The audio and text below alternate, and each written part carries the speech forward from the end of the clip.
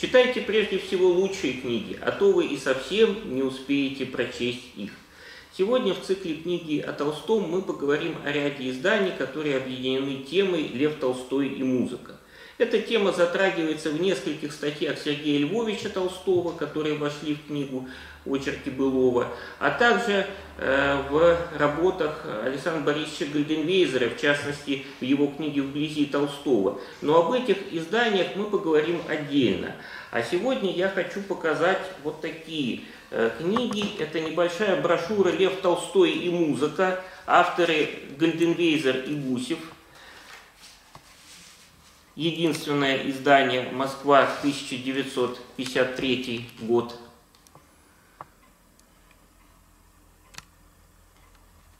Есть также двухтомник «Лев Толстой об искусстве и литературе». 1958 э, год издания. Здесь собраны высказывания Льва Николаевича о тех или иных э, композиторах, э, произведениях искусства, Э, ну, в том числе о музыкальных произведениях.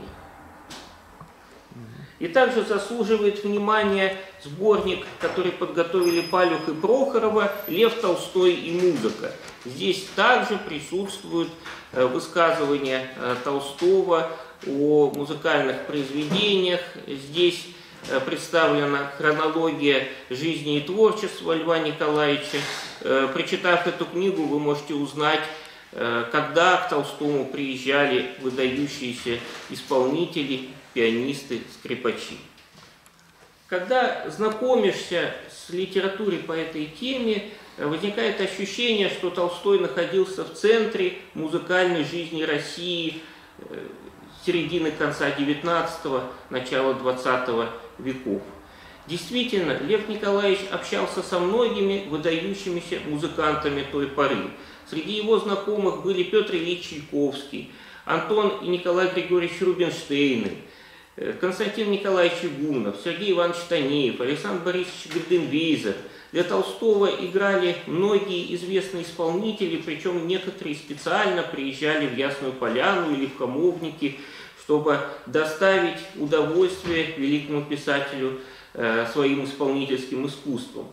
Достаточно сказать, что один из самых знаменитых камерных ансамблей э, рубежа веков, чешский квартет, который э, дал единственный концерт в Москве в 1895 году, специально приехал к Толстому в Хамовники, чтобы играть для великого писателя. Многие музыкальные произведения упоминаются в творениях э, Льва Толстого. Э, музыка звучит на страницах э, повести детства, на, в таких произведениях, как «Альберт», «Семейное счастье», «Война и мир», «Воскресенье», Крейцерова соната, «Живой труп» и многие другие – ни у кого не возникает сомнения в том, что Толстой был очень э, музыкальной личностью, что музыка для него значила очень и очень много.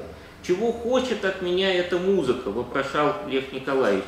Действительно, вот мы знаем, что в эстетике Толстого принцип заразительности искусства играет очень важную роль. Как считал Лев Николаевич, истинное искусство должно проникать в душу слушателю, читателю, и э, слушатель должен испытывать то же, что испытывает композитор, когда сочиняет это произведение. Когда Толстой слушал музыку, э, он очень часто плакал, он, музыка выводила его из душевного равновесия, он очень тонко чувствовал музыкальную гармонию. Иногда Лев Николаевич Э, допускал очень резкие высказывания о тех или иных композиторах или музыкальных произведениях. Возникает удивление, как Толстой, который очень тонко чувствовал э, нюансы музыкальных э, произведений, э, допускал вот, явно несправедливые высказывания по отношению к позднему Бетховену, по отношению к творчеству Яганаса Брамса, Ференца Листа, многих выдающихся композиторов.